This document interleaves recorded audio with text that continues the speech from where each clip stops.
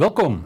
We hebben vanavond een uh, drietal onderwerpen. En dat eerste is de boerderij Groei en Bloei. Dat gaan we als derde onderwerp uh, behandelen. Uh, we hebben natuurlijk een onderwerp dat gaat over houtkachels. Nou, dat, alles draait om houtkachels, lijkt het wel op dit moment. En dan gaan we naar de contactdagen bedrijven en onderwijs. En daar hebben we twee gasten voor aan tafel. Dat zijn Rutger van den Bos, van Durbos. Van Den Bos. Ja, van Den Bos en uh, Marco Goudswaard. Welkom, nogmaals. Marco, uh, ja, er staat iets groots te gebeuren, daar ben je al een poosje mee bezig. Hoe komt zoiets tot stand? Um, hoe komt zoiets tot stand? Nou, uh, zoals bekend bij jullie um, hebben we een ondernemersclub Lekker Wonen en Werken in de Krimpende Waard. Met dik 400 bedrijven. En in, het, na, in voorjaar kwam ik Rutger tegen. En zijn we aan de praat geraakt. Rutger is uh, uh, van het Krimpen de Waard College.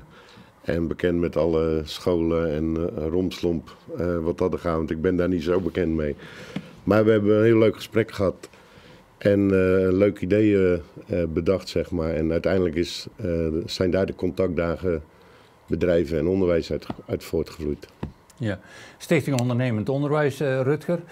Uh, dan, uh, ja, dan denk je zit zelf in het onderwijs natuurlijk. Jullie hebben elkaar gevonden. Maar wat betekenen jullie precies voor elkaar? Nou ja, goed. Kijk, uh, ik ben uh, secretaris. Uh, naast dat ik werkzaam ben op Krimpen Waardcollege, ja. ben ik ook secretaris van Stichting Ondernemend Onderwijs Capelle Krimpen. die heeft tot, tot hoogste doel om onderwijs en bedrijfsleven bij elkaar te brengen. En ehm, wij hebben, zeg maar, voor de coronaperiode hebben wij een beursje georganiseerd in, in Capelle. Dat was heel succesvol en voldeed aan veel verwachtingen. Echter, na corona was het allemaal een beetje moeilijk om uh, uh, iedereen weer uh, in actieve stand te krijgen, om het zo maar te zeggen. Nou ja, wat Marco zegt, toen zijn we elkaar tegengekomen en toen is eigenlijk het idee snel ontstaan om dat voor, voor de Krimpende Waard te doen en, en voor Capelle. En ja, dan, dan groeien dat soort ideeën uit tot, nou ja, tot een redelijk groot evenement. Ja, en dan heb je de combi natuurlijk van onderwijs en bedrijven. Ik, ik zie wel een link liggen, maar kun je daar ook iets meer over vertellen wat, wat die link dan is? Want uh, je probeert dus het onderwijs in contact te brengen met bedrijven. Ja, nou het is de bedoeling dat, natuurlijk, dat leerlingen uh, voordat zij een profielkeuze maken of voordat zij uh, gaan nadenken over een vervolgopleiding of nou ja, uh, zich bewust zijn wat voor keuzes ze nou echt moeten maken. En ehm, dat ze niet kiezen voor het makkelijke, maar gewoon eens even goed nadenken van waar ben ik nou goed in. En nou ja, dat hopen wij door middel van nou ja, het stimuleren en motiveren van die leerlingen door middel van zo'n bedrijf contactdag uh, ja, te, te, te, bij hen naar boven te brengen. Ja. nu zijn er tal van bedrijven natuurlijk en tal van scholen.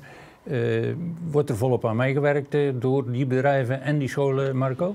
Um, de scholen, dat heeft Rutger voor zijn rekening genomen. Qua bedrijven is er heel veel enthousiasme. En um, uh, hoor ik gelukkig dat ze het allemaal een geweldig idee vinden en of het uh, inderdaad volgend jaar weer willen gaan doen. Dat is uh, denk ik wel de bedoeling. Um, we verwachten ongeveer 90 bedrijven. En ik denk dat dat voor de eerste keer best wel overweldigend is. Ja. Heb je er nou bijvoorbeeld ook uh, problemen mee dat uh, bedrijven, die zijn allemaal enorm druk op het moment. Ja. Maar ze schreeuwen op personeel. Dus ja, uh, ik, ik kan me zo maar voorstellen dat bedrijven afhaken. Ja. En dat die, dat die scholieren komen om, om banen te vinden eventueel. Ja, het is een, inderdaad een kip-en-ei verhaal. Ehm, alle bedrijven hebben personeel nodig, maar hebben weer moeite vervolgens om op die dagen de stand te bemannen. En um, ja, ik adviseer in ieder geval om het toch door te drukken, omdat ik denk dat het richting de toekomst heel erg belangrijk is voor de, zowel de bedrijven, maar ook voor de scholieren. Mm Als je het over scholieren hebt, wat, wat voor scholen doen er aan mee? Eh, Vooral gericht op de praktijk of, of ook andere scholen? Alle scholen. Dat, is, dat maakt dit eh, project ook echt uniek. Eh, alle scholen in eh, eh, de Krimpende Waard, Krimpen IJssel, Capelle, in voortgezet onderwijs dan, Ja. die doen mee. Dus vanuit Capelle komt Accent en eh, College, dus voorheen IJssel College. Eh, vanuit Krimpen, uh, Krimpende Waard College en uh, Comenius Krimpen. En vanuit de Krimpende Waard eh Schoonhovens College en Gemini. En eh, daarnaast komt eh Satkien met de MBO, MBO 1 opleiding ook nog langs. Dus het is heel breed. Het is ook voor, voor alle niveaus. Dus het is van basiskader tot en met VWO. En nou ja, goed. En nu zelfs MBO erbij. Dus, en ik denk ook dat gezien de, de, ja, de deelname van de bedrijven die, of de bedrijven die meedoen, dat het ook voor elk wat wils is. Kijk, ehm, vanuit, vanuit eh, eh, de, de, de, de, de theorieopleiding, zou ik dan maar zeggen, die wij aanbieden, is het natuurlijk, ja, met name voor vervolgopleiding en, eh, nou ja, goed, maar ook wel leerwerkbedrijven, dat soort zaken die natuurlijk interessant zijn eh, om eh, voor leerlingen eh, daar eh, zichzelf, eh, eh, nou ja, te informeren. Eh, maar voor de MBO 1 opleiding en eh, voor de eh, eh, VMBO-kader en zo, ja, die kunnen gelijk doorstromen naar leer, Ja. eh, leerwerkbedrijven. Ja. Dus het is echt een unieke kans eh, voor leerlingen en bedrijven. Ook voor de bedrijven natuurlijk om hun eh, bedrijfstak of bedrijf te promoten. En ehm, hoe heet dat? Eh, voor voor eh, de bedrijven is het natuurlijk ook gewoon ideaal om die leerlingen in een vroegtijdig stadium voor hun bedrijfstak te interesseren. Ja. Zijn het dan vooral eh, eindejaarsklassen van die eh, scholen die je noemt? Die, eh, want die, die komen van school af natuurlijk en die zoeken een vervolg. Het is voorexamen, dus die, die klassen die komen allemaal. Voorexamenklassen. Ja. En, en hoe is dat ontvangen op die scholen? Allemaal eh, heel enthousiast? Of eh heb Zeker. je toch nog eh, moeite moeten doen om Nee. ze te krijgen? Nee, geen enkele moeite. En ehm, dat geeft, dat, maar het, het, het voldoet ook, of ja, het voldoet ook echt aan een behoefte. Het is voor scholen is het heel erg belangrijk om niet alleen natuurlijk intern een goede opleiding te verzorgen, maar juist ook extern te kijken van wat kunnen wij als school nog bijdragen en hoe kunnen we onze leerlingen. nou ja, goed, wij hebben als Krimpen Waard College het motto: eh, wij bereiden onze, onze leerlingen voor op een kansrijke toekomst. Nou, dat kan alleen maar door ook gewoon eh, de deur open te zetten. Ja. Hoe is dat eh, met, met bedrijven? Was die animo ook gelijk groot, eh, Marco?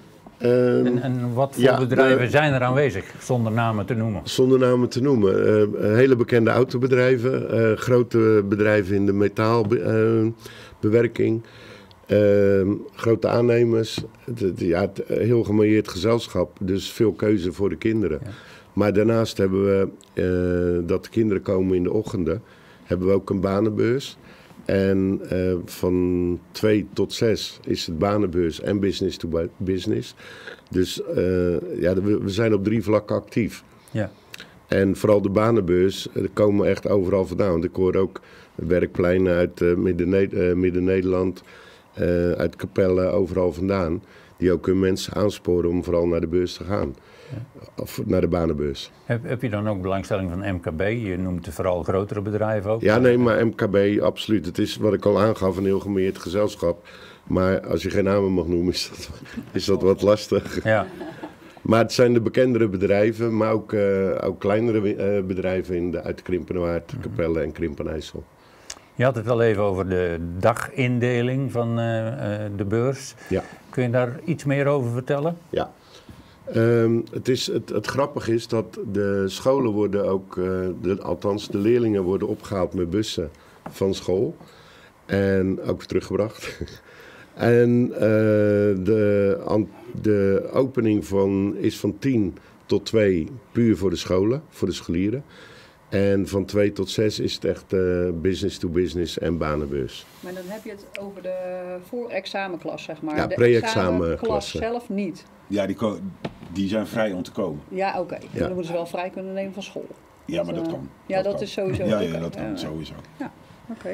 Oké. Oké, ja, en eh, dus die beurs die, die eh, tot twee uur zeg je, dan is Mhm. het voor scholieren. Hoe worden die scholieren begeleid? Door de, door de leraren? Of, of, eh, want, een heel, eh, anders dan programma- loopt alles daar rond en dan kan, dan kan ik me zomaar voorstellen dat het zomaar een speeltuin is. Ja, nee, dat klopt. En, eh, maar dat, er zit een heel programmaatje voor, vooraf. Dus eh, leerlingen worden geïnformeerd over welke bedrijven er staan. Eh, nou ja, goed, vervolgens eh, worden ze ook natuurlijk wel een beetje gecoacht van... nou, eh, misschien moet je bij dat bedrijf of dat bedrijf een afspraak maken.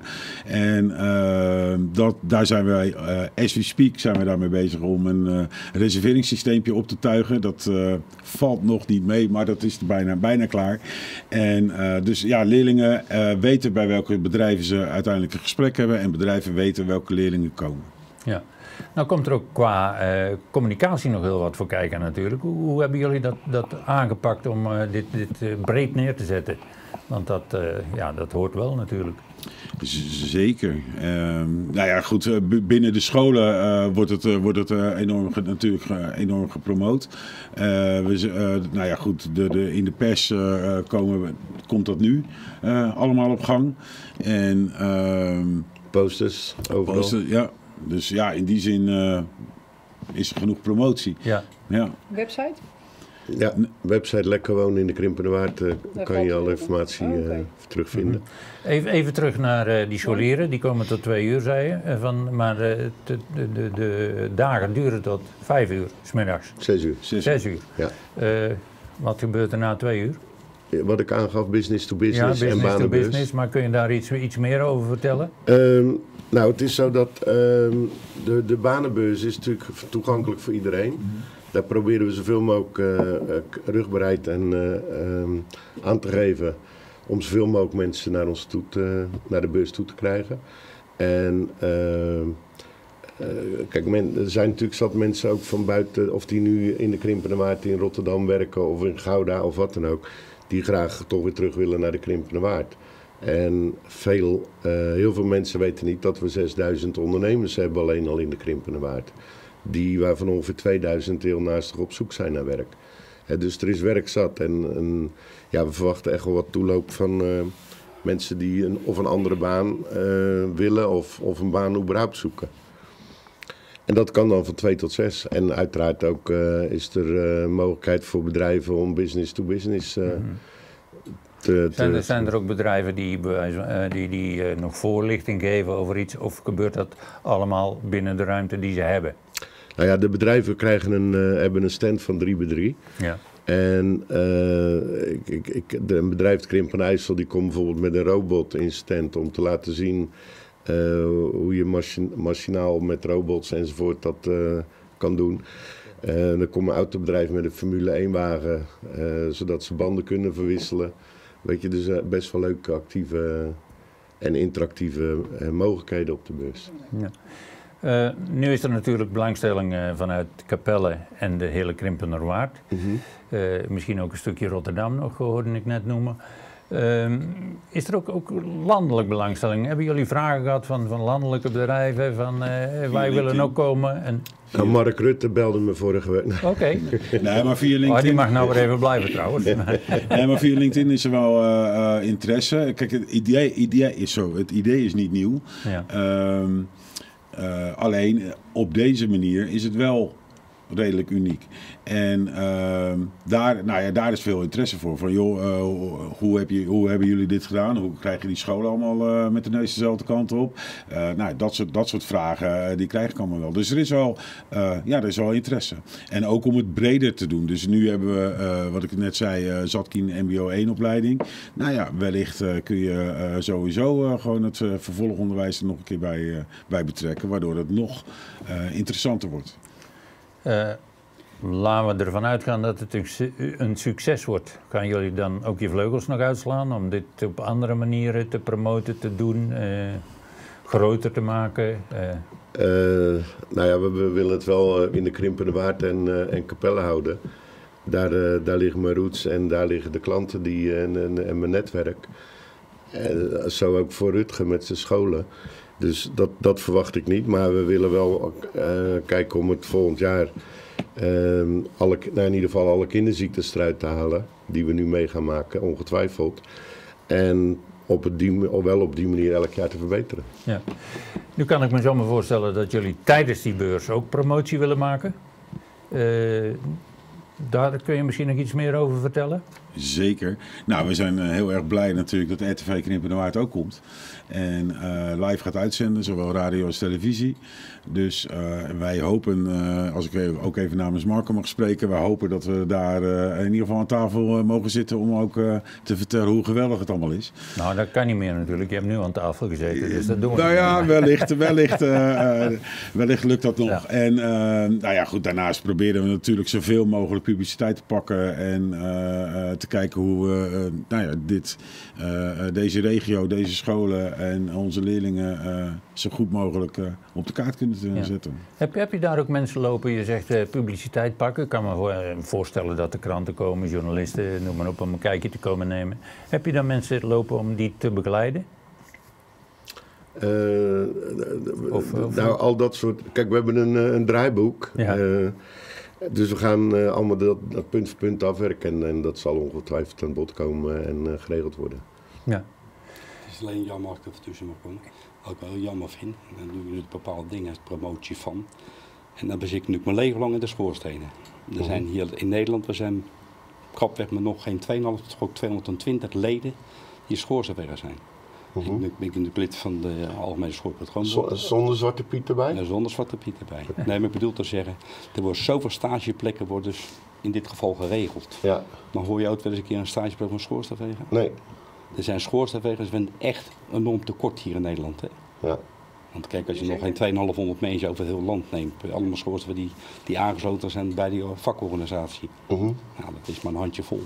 Ja. ja, maar goed, alles kan.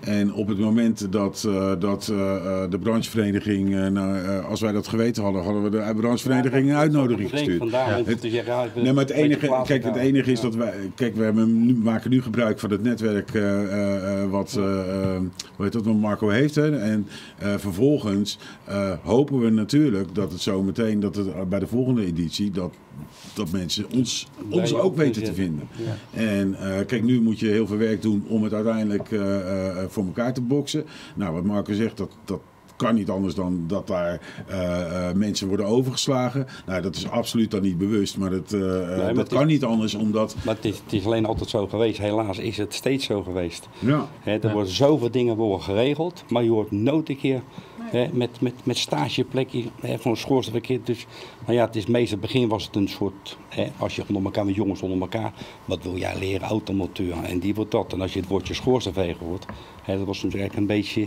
hè, je had een soort veroordeling. Ja. En ja. dat is een beetje jammer. Ja. jammer. Uh, maar dat geldt voor alle, dat geldt natuurlijk voor heel veel praktijkopleidingen. Uh, ik bedoel, voorheen wilde niemand uh, loodgieter worden. En inmiddels nee, nou, uh, die meer als loodgieter dan als advocaat. Dus. Stel dat die schoorsteenvegers zich nog melden. Kunnen ze daar nog meedoen? Zeker, bij Marco. Ja, dus er is nog plaats. Er is, uh, er is nog wel plek, alleen uh, ik word nu wel redelijk overspoeld met, uh, met aanvragen en, en zijn er nog mogelijkheden. maar ja, op een gegeven moment moet je ook een beslissing nemen en zeggen van ja, dit is het. Want anders ehm, ja, je moet wel de tijd gunnen om het ook goed voor te kunnen bereiden natuurlijk. Ja, kort Want wanneer uh, is het? Heb ik ja, en dat is ook 23. Goed gevraagd, goed gevraagd. Nee, ja, ja, dat is altijd iets uh, wat misschien ja. wat toekomstgericht uh, ja. ja. Daar gaan we mee besluiten. Ja, ja, wanneer is het en waar is het? 23, 24 en 25 november op het Koekoeksplein, of Tuiterplein in de Volksmond, of waar de kermis altijd staat in Krimp en IJssel. Uh, uh, komt een stand of een tent van, uh, vijf, van 25 bij 50 meter. En daar gaat het gebeuren. Heel veel succes daarbij. Mooi Dankjewel.